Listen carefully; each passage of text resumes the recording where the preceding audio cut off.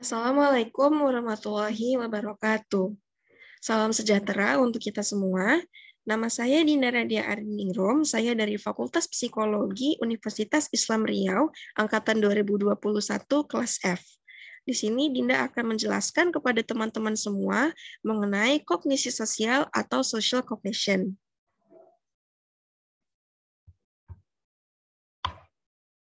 Nah, adapun pada hari ini Dinda akan membahas empat pokok pembahasan, yaitu yang pertama ada definisi kognisi sosial, yang kedua nanti ada heuristik kognitif, yang ketiga ada cara mempelajari kognisi sosial, dan yang keempat nanti kita akan mempelajari yang namanya skema. Nah, tanpa berlama-lama lagi, langsung saja kita masuk ke pokok pembahasan kita yang pertama, yaitu mengenai definisi kognisi sosial. Nah, kognisi sosial itu apa sih?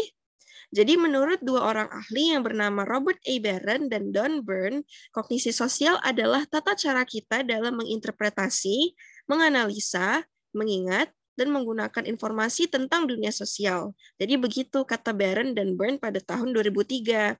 Namun, kalau kita simpulkan dengan kalimat yang lebih mudah dipahami, kognisi sosial itu merupakan aktivitas mental yang berhubungan dengan kegiatan sosial dan membantu kita untuk memahami serta memprediksi perilaku diri sendiri maupun perilaku orang lain. Nah, kalau dengan kata yang lebih singkatnya lagi, kognisi sosial itu dapat disimpulkan sebagai proses kita memahami dunia di sekitar kita. Kognisi itu artinya berpikir, dan sosial itu berarti orang-orang di sekitar kita, itu termasuk diri kita sendiri. Karena diri kita sendiri itu pastinya berhubungan ya dengan orang lain. Nah, sekarang kita akan masuk ke yang namanya heuristik kognitif. Apa sih heuristik kognitif itu? Heuristik kognitif itu didefinisikan sebagai aturan pengolahan informasi yang memampukan kita untuk berpikir dengan cepat dan mudah, namun kadangkala menimbulkan kesalahan. Uh, kita ambil contoh ya supaya lebih mudah dipahami. Contohnya ada tiga orang teman yaitu A, B, dan C. Ahmad, Bayu, dan Coki. Jadi Ahmad, Bayu, dan Coki ini mereka sama-sama membuat rencana kalau mereka mau liburan ke pantai nih ceritanya. Jadi Ahmad, Bayu, dan Coki ini mereka masing-masing naik motor sendiri-sendiri. Jadi Ahmad naik motornya sendiri, Bayu naik motornya sendiri, dan Coki naik motornya sendiri. Nah, mereka juga mereka berjalan iring-iringan naik motor masing-masing nih. Lalu tiba-tiba ada motor, eh maaf, ada mobil yang melaju kencang dan menabrak si Bayu sampai Bayu terjatuh. Nah, Ahmad dan Coki sebagai saksi dari kejadian itu, mereka mau melapor nih ke polisi. Tapi kan tidak mungkin kan Ahmad sama sama si Coki ini mereka mengingat panjang mobil itu, lebar mobil itu, tinggi mobil itu, atau merek ban mobil itu, kan tidak mungkin. Paling yang diingat sama Ahmad dan si Coki itu hanyalah uh, warna mobil itu misalnya oh misalnya yang menabrak si Bayu itu mobilnya warna merah atau tidak uh, merek mobilnya. Oh ini yang nabrak si Bayu ini mobilnya Xenia nih sama plat mobilnya. Oh ini yang nabrak kalau platnya segini nih. Nah heuristik kognitif itu memungkinkan dua orang yang dua orang melihat kejadian yang sama, mereka dapat mengingat hal yang berbeda. Contohnya misalnya si Ahmad dia mengingat plat mobil itu platnya BM739BC. Tapi si Coki bisa mengingat plat mobil tersebut BM738DD. Nah, jadi heuristik kognitif itu membuat kita berpikir dengan cepat dan mudah, namun kadangkala menimbulkan kesalahan. Dan dua orang yang melihat kejadian yang sama itu bisa mengingat hal yang berbeda, teman-teman. Seperti itu. Nah, sekarang kita masuk ke pokok pembahasan kita yang ketiga, yaitu pembelajaran kognisi sosial.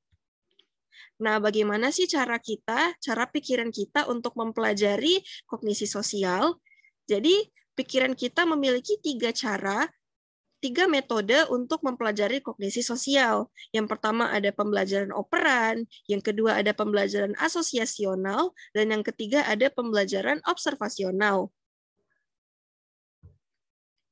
Nah, pembelajaran operan itu disebut juga sebagai operant learning. Jadi kita mempelajari informasi baru melalui konsekuensi dari perilaku kita tersebut. Jadi pembelajaran operan itu berhubungan dengan yang namanya reward and punishment. Jika konsekuensi perilaku kita tersebut menyenangkan, maka kita cenderung mengulangi perbuatan itu. Sebaliknya, jika konsekuensi dari perbuatan kita tersebut tidak menyenangkan, maka kita cenderung tidak mengulanginya lagi atau disebut punishment. Sebagai contoh nih, contoh kita masih kita balik ke masa lalu ya. Jadi ceritanya kita masih uh, masih kecil nih, masih kelas 1 SD. Kita baru pertama kali memasuki dunia pendidikan formal.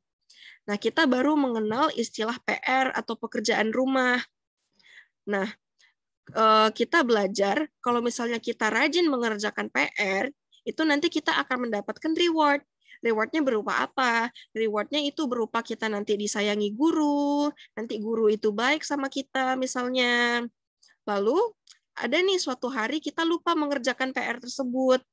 Nah, ternyata kita belajar kalau kita tidak mengerjakan PR tersebut, nanti kita akan mendapatkan punishment dari guru. Punishmentnya berupa apa? Punishmentnya bisa berupa kita disuruh berdiri di depan kelas selama jam pelajaran, atau misalnya kita disuruh uh, apa ya membersihkan sampah seperti itu. Jadi kita cenderung tidak mau tidak bikin PR lagi. Jadi kita pengen selalu bikin PR seperti itu. Nah, pembelajaran yang kedua itu ada pembelajaran asosiasional atau disebut juga sebagai associational learning. Itu merupakan proses pembelajaran yang terjadi ketika sebuah objek atau kejadian muncul bersama respons lain. Kita ambil contoh lagi, misalnya nih, di kehidupan sehari-hari, kita sering melihat kalau langit mulai gelap, itu nanti akan disertai turunnya hujan. Nah, mungkin kita eh, terus-terusan nih melihat langit yang gelap itu lama-lama akan turun hujan. Lalu karena kita terbiasa melihat hal yang seperti itu, jadi setiap langit mulai gelap nih, mulai mendung, kita akan antisipasi sendiri menyediakan payung karena kita tahu kalau misalnya langit mulai mendung itu nanti akan turun hujan.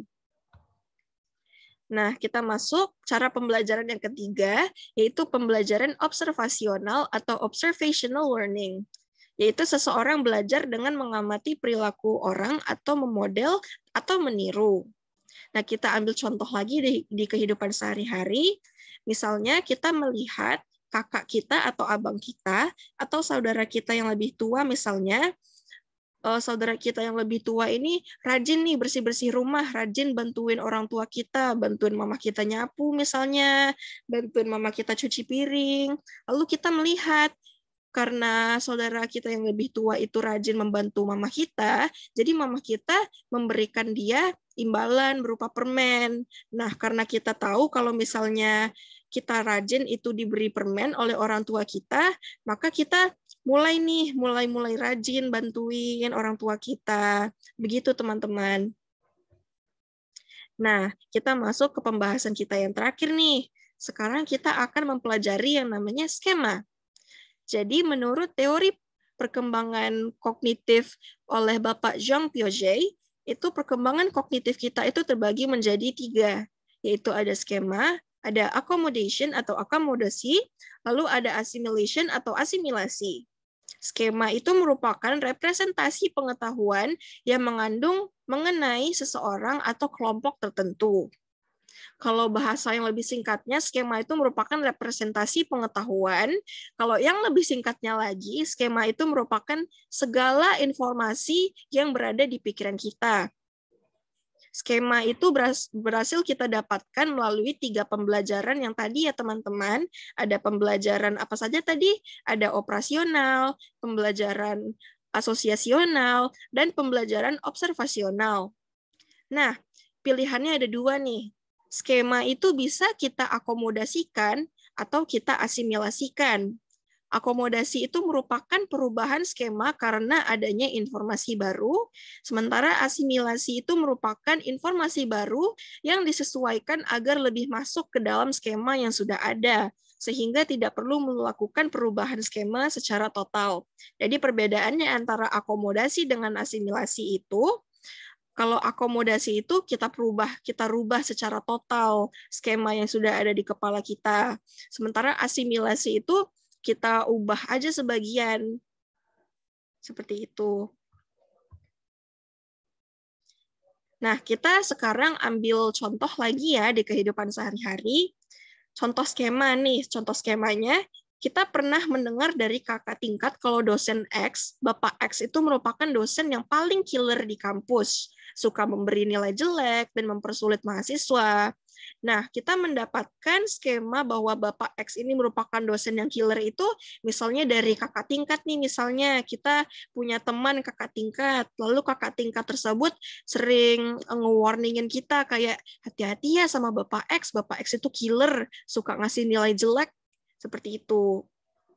Lalu, kita memiliki dua pilihan nih.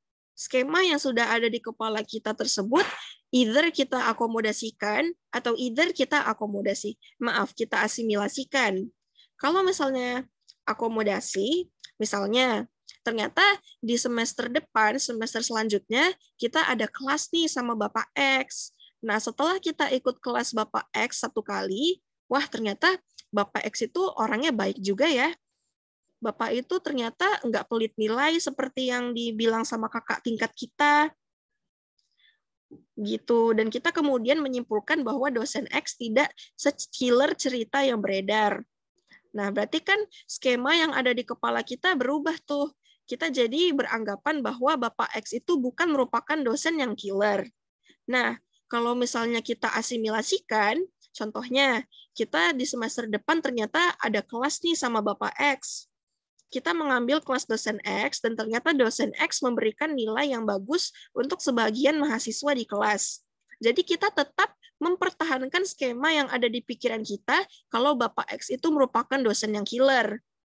Lalu kita malah memiliki kesimpulan lain, kita berpikir bahwa ini terjadi karena Bapak X itu suasana hatinya sedang bagus misalnya. Misalnya karena anaknya baru menikah, makanya suasana hatinya bagus, seperti itu. Pokoknya asimilasi itu kita tetap mempertahankan skema yang ada di pikiran kita. Contohnya ya tadi, Bapak X itu orangnya killer, jahat, tapi kita eh, ngadi-ngadi deh, alasan deh kita alasan ternyata kita berpikir bahwa bapak itu suasana hatinya sedang bagus, makanya dia nggak killer. Tapi pokoknya kita tetap kekeh gitu kalau bapak X itu merupakan orang yang jahat dan killer. Seperti itu teman-teman. Nah, pikiran kita menjaga skema. Jadi, kan tadi sudah Dina jelaskan ya kalau uh, skema itu nanti either kita asimilasikan atau kita akomodasikan. Tetapi sayangnya teman-teman, otak kita itu cenderung lebih suka melakukan asimilasi daripada melakukan akomodasi. Jadi pikiran kita itu menjaga skema itu dengan dua cara, yaitu dengan cara confirmation bias yaitu kecenderungan seseorang untuk lebih berfokus pada informasi yang mengonfirmasi pikiran atau ekspektasinya tanpa memedulikan apakah informasi tersebut benar atau salah. Nah, kita ambil contoh Bapak X tadi ya. Misalnya eh, kita kita kesel banget nih sama Bapak X. Kita benci sama dia karena dia killer, dia jahat. Lalu tiba-tiba kita ketemu sama Bapak X ini di jalan.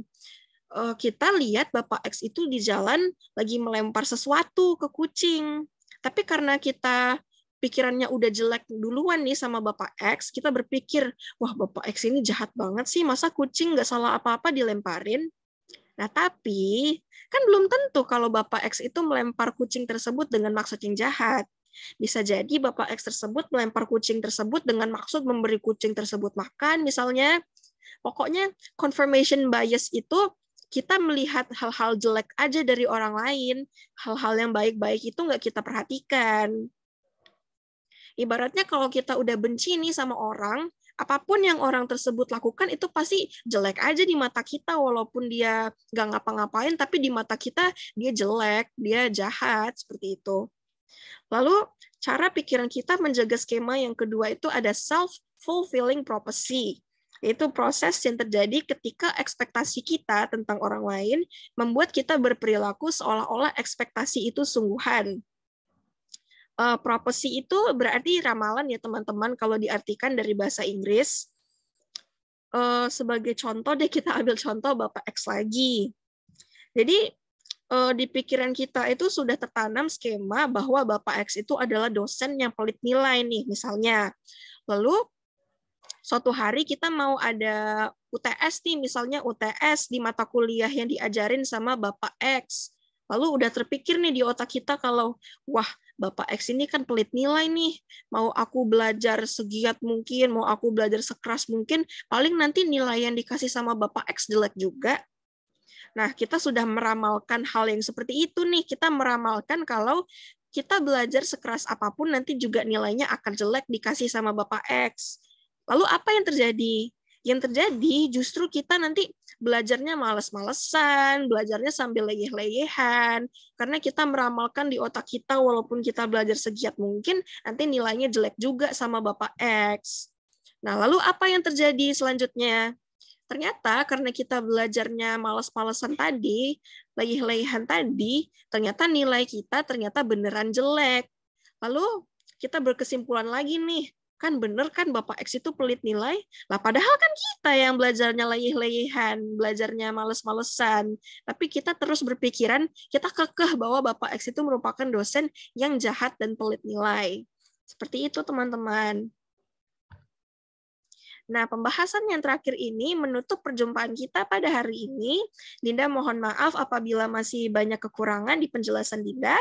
Dinda akhiri, semoga bermanfaat. Assalamualaikum warahmatullahi wabarakatuh.